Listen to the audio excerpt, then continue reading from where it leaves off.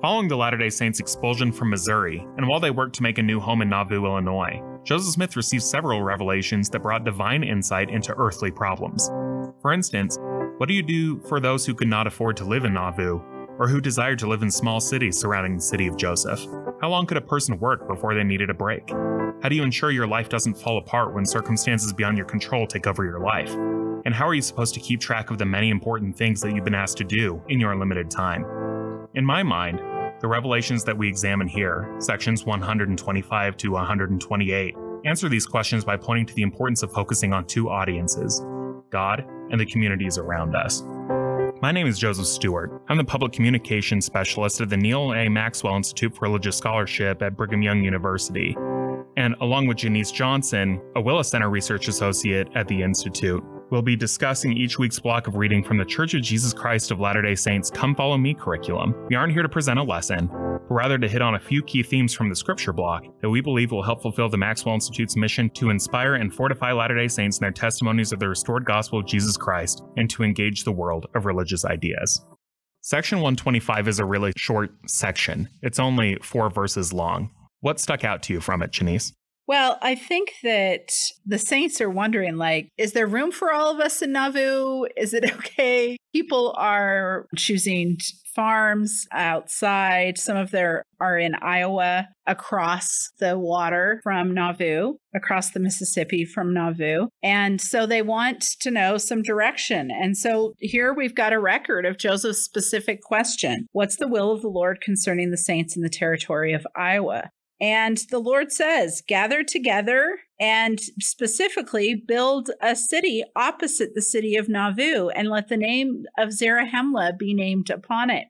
Now, this is the first city or the first Latter day Saints settlement that will have a Book of Mormon name this is something that will be a continued practice when we get to Utah. Latter day Saints will use both Bible and Book of Mormon names. We've already seen it beginning in the Kirtland period, the saints name their children after individuals in the Book of Mormon. In Nauvoo, we see a proliferation of Book of Mormon names. This is one of the markers of practice of how the saints are thinking about the Book of Mormon, how the content is important. And it comes out in how they name things specifically this name coming from the Lord in terms of Zarahemla, but also in a whole lot of Book of Mormon names. Parley Pratt is going to name all of his sons Book of Mormon names after 1844. His adopted daughter will also get a Book of Mormon name. This is going to be a continued practice of yeah, the Book of Mormon, as much as it is a sign of Joseph Smith's prophetic authority, also deeply matters to Latter day Saints. It's something that is involved in every aspect of their lives. And in naming Zarahemla as a place where saints can settle, I believe that it's also the Lord saying you don't have to be five feet from the prophet in order to be with the body of saints. There are complications with having lots of people in one area. And this is just speculation, but I wonder if the Lord and Joseph are also aware that when the saints congregated in large numbers in Jackson County, that it attracted trouble.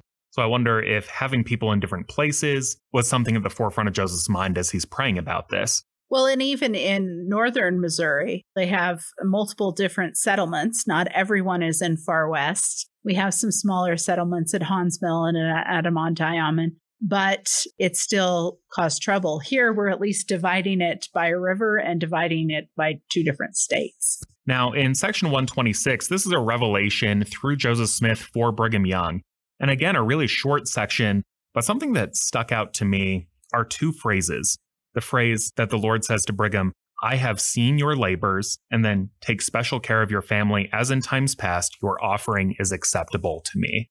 I think about the phrase from the Gospel of Matthew in chapter 25 Well done, thou good and faithful servant, thou hast been faithful over a few things. It's crucial to remember that the Lord sees us. And it's something that I think as Latter day Saints, we can see as very commonplace to think I am a child of God, that God is involved in all of our lives. But it's something that is extremely powerful when we stop and think about how involved our Creator is in our lives. When I was at the University of Virginia, a wise professor named Kathleen Flake who was teaching an undergraduate class on new religious movements in the United States, of which Mormons or Latter day Saints were one of them, along with the Nation of Islam and along with Scientology. And at the end of the semester, she assigned her students to write on the subject of holy envy, something that they admired about the religion, the religions that they had learned. And these are religions that, if you are not a member of them, may seem scary or you may have a certain amount of fear or not knowing what they're going to do or what they're going to say. You may not know a member of those religions. But one of the essays that stuck out to me from that semester was a student who said, I've been listening to the Mormon hymn, I am a child of God, and I cannot stop crying. And it stuck out to me that this song that I sing with my kids on the way to church, that I've been singing since I knew how to sing, was something that could have such a power. And in thinking about how Brigham must have felt in that moment when he has given so much of his life to missionary service, when he has given everything he has to building the kingdom to be seen by the Lord. I have seen your labors. Take special care of your family from this time henceforth and forever. Your offering is acceptable to me. I want to look at this from the perspective of Mary Ann Angell Young, who is Brigham Young's wife. Mary Ann joined the church actually before Brigham did.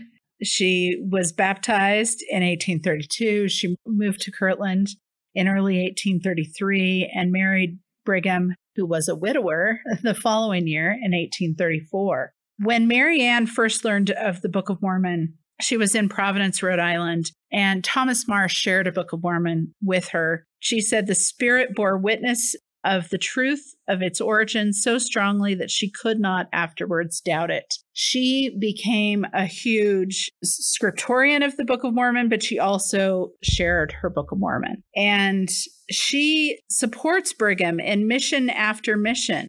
But shortly after the young family arrived in Far West, Joseph received a revelation that to- said Brigham wasn't to leave his family again until they were amply provided for. Now, that time is only going to last for nine months. It's not going to last for very long before he leaves on a mission for Great Britain. And so, again, by the time that they were safe in Illinois, Mary Ann remembered that she had kept house in 11 different places within three months. She's also pregnant. I think that this is for Mary Ann just as much, if not more, than it is for Brigham. Your offering is acceptable unto me. She has done all of this virtually by herself. And I agree wholeheartedly. In section 127, we find Joseph Smith in hiding. And this is something that we will see for the rest of Joseph Smith's life that he is often in hiding uh, because people from Missouri are trying to extradite him to have him try to have him tried for crimes there, both while he was in Missouri and eventually for crimes even after he had left the state. And I think about Joseph Smith and the weight on his shoulders here. And in the revelation, he says, I have thought it expedient and wisdom in me to leave the place for a short season for my own safety and for the safety of this people. I would say to all those with whom I have business that I have left my affairs with agents and clerks who will transact all business in a prompt and proper manner and will see that all my debts are canceled in due time by turning out property or otherwise as the case may require or as the circumstances may admit of. When I learn that the storm is fully blown over, then I will return to you again. And he goes on to express his confidence that he will return, that everything is going to be okay. But I just really like that Joseph Smith is reassuring the saints I'm not gone for forever. Things are going to be taken care of. Even for those who are outside the church, those who have civic or economic dealings with the prophet or with the church, that he's not leaving them alone. I think a lot about this phrase from verse 2 deep water is what I am wont to swim in. I think there comes a point where Joseph just realized that this is what mortality is like. There are joyous moments. And with section 128, we're going to see so much joy, but there is also a lot of deep water. And for Joseph, it doesn't end in mortality, it's consistent. But he says, it has all become a second nature to me. And I feel like Paul to glory and tribulation. Sorry, I'm not there yet. That's not something that just comes instantaneously, but he has come to a point where he can glory in it. One of the things that I think that he finds glory in as well is the introduction of baptisms for the dead. Now, we discussed this in the prior episode because we get some hints of it in section 124. But in section 128, we learn much more about how baptisms for the dead are to be taken out, how they're to be recorded, and their place in what historian Sam Brown calls the great chain of belonging, the step in that process that leads to that chain being forged. Janice, could you tell us about the doctrinal development of baptisms for the dead? Yeah. So, baptism for the dead, like many doctrines, is not going to be all revealed in an instant. It is going to be built upon line upon line, precept upon precept. The vision that Joseph has in 1836, it's a vision of Alvin in the celestial kingdom. It's recorded in section 137. In the first edition of the Doctrine and Covenants in 1835, it's included in an appendix. But Joseph has this vision in 1836 and it sticks with him. How is it that his brother Alvin, who was so dear to him, can make it to the celestial kingdom if he was unable to receive those ordinances that Joseph believed were necessary? In July of 1838, Joseph publishes in the Elder's Journal all those who have not had the opportunity of hearing the gospel and being ministered to by an inspired man in the flesh must have hereafter before they can be finally judged. So, this idea of proxy work is something that is working on him. In 1840, when he preaches at Seymour Brunson's funeral, when Section 124 is received in 1841, we get more specifics. This is one of the purposes of the temple that there can be a, a font, a baptismal font for baptisms for the dead. And here we get more specifics about recording practices that we actually should keep track of such things that we need recorders, we need witnesses. We're going to get more of this in section 128. And then later, Brigham Young will give us additional instruction that men should be baptized for men and women should be baptized for women. This was not something that was part of their earliest practice, but this is continued to be revealed over time. Yeah, it's something that, again, is reassuring to me that something as big and as important as baptism for the dead Joseph Smith is working on this for a long time, but something that seems as basic to modern Latter day Saints as women should be baptized for women and men for men isn't revealed until after Joseph Smith is dead. And again, it just points out to me the restoration is continually being unfolded, both in minute detail, but also in the big things that affect the trajectory of the church. And these recording practices are important. The day the church is organized, the Lord says, Behold, a record shall be kept among you. And we don't do that particularly well all the time. Latter day Saints have an amazing amount of records, but it takes time for these practices to be enshrined as part of our regular practice the Lord said, keep a record, but Joseph doesn't actually keep a record until 1832 when he gets another revelation that says, hey, remember that? You're not keeping a record. Keep a record. He goes and buys a notebook and starts writing down his history for the first time when that second revelation comes. And these continued revelations will again remind the saints keep a record. This is important to keep a record of these rituals and these rites and these ordinances that are being performed. Yeah. And again, I guess always relating myself to Joseph Smith in this way that Joseph Smith has this big idea and he's not totally sure how to do it. And so he avoids doing it until he knows how to do it perfectly. And the Lord just keeps coming back and saying, buddy, you got to do what I tell you first. And then Joseph says, Well, how can I do it? And then the Lord gives more and more specific instructions to him. So it starts big, and then more and more is revealed until this revelation is refined into something that Joseph can do by himself.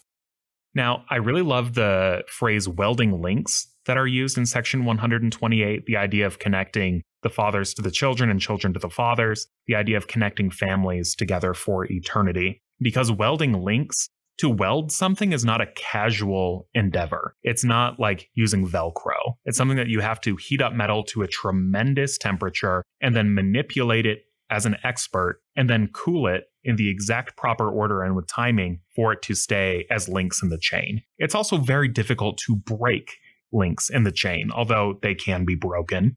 But this idea of welding links connecting the past, the present, and the future in a way that is strong and can only be done well by following prescribed methods.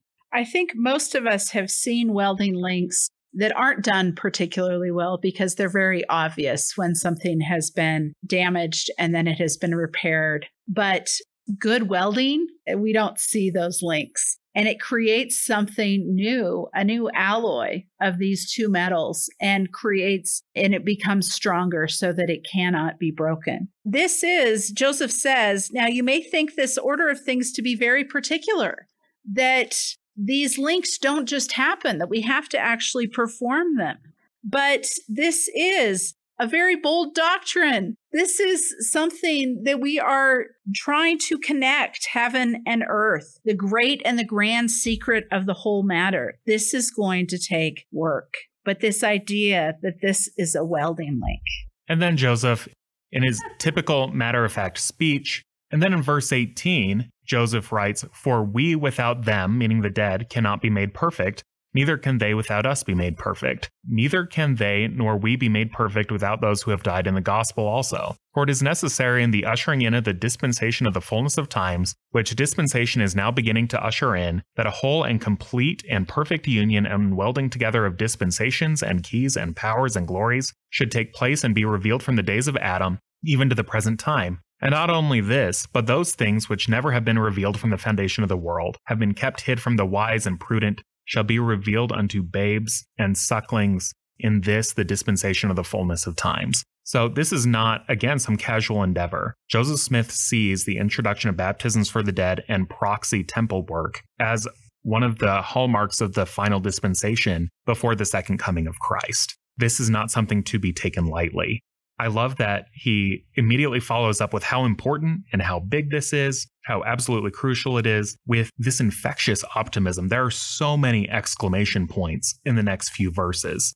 And in verse 20, what do we hear? Glad tidings from Cumorah, Moroni, an angel from heaven, declaring the fulfillment of the prophets, the book to be revealed, and going on and on, talking about and following it up with many, many visitations from angelic beings, passing on keys, restoring doctrines and practices that had not been known. In verse 22, shall we not go on in so great a cause? Go forward and not backward. Courage, brethren and sisters, and on, on to the victory. Let your hearts rejoice and be exceedingly glad. Let the earth break forth into singing. Let the dead speak forth anthems of eternal praise to the King Emmanuel. Let the mountains shout for joy, and all ye valleys cry aloud, and all ye seas and dry lands tell the wonders of your eternal King. Behold, the great day of the Lord is at hand, and who can abide the day of his coming, and who can stand when he appeareth? For he is like a refiner's fire and like fuller's soap. He shall sit as a refiner and purifier of silver, and he shall purify the sons of Levi, and purge them as gold and silver, that they may offer unto the Lord an offering in righteousness. Brethren and sisters, I have many things to say to you on the subject, but shall now close for the present and continue the subject another time. I am, as ever, your humble servant and never deviating friend, Joseph Smith. Joseph Smith is absolutely jazzed by the prospect of baptisms for the dead because it seems to me that as he's writing this, even in facing the enormity of the project of baptisms for the dead and proxy temple work for billions of people, that so many great and wonderful things have taken place already and that there are even more great and wonderful things in store for Latter day Saints as they do what the Lord has asked him to. Joseph uses up his quota of exclamation points for an entire lifetime in this section, but that should only highlight for us. Exclamation points only work when they are not always used, when they are not the standard. And here we see Joseph's excitement through these exclamation points, confirming our hope. And we see how both the New Testament and the Old Testament come together and these teachings come together for Joseph in this revelation about the sealing power. The voice of God in the chamber of old Father Whitmer. We see Joseph's absolute joy at this possibility of this welding power, which can unite all of us in this great chain of being. I think that's a great place to end. We're going to leave you with the words of Elder Quentin L. Cook from a conference talk entitled Roots and Branches as he discusses the important work of being a savior on Mount Zion. Family commitments and expectations should be at the top of our priorities to protect our divine destiny. For those who are looking for more fruitful use of the Sabbath day for the family as a whole, the hastening of this work is fertile ground. One mother glowingly tells how her 17 year old son gets on the computer after church on Sunday to do family history work. And her 10 year old son loves to hear the stories and see pictures of his ancestors. This has blessed their entire family to experience the spirit of Elijah. Our precious roots and branches must be nourished. Jesus Christ gave his life as a vicarious atonement. He resolved the ultimate question raised by Job. He overcame death for all mankind, which we could not do for ourselves. We can, however, perform vicarious ordinances and truly become saviors on Mount Zion for our own families in order that we with them might be exalted as well as saved.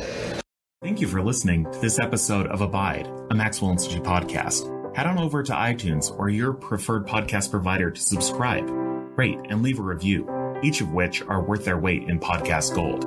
You can receive show notes, including references to the sermons and articles referenced in this episode by signing up for the Maxwell Institute newsletter at mi.byu.edu. Please also follow us on Facebook, Twitter, Instagram, and YouTube for more content from the Neal A. Maxwell Institute for Religious Scholarship.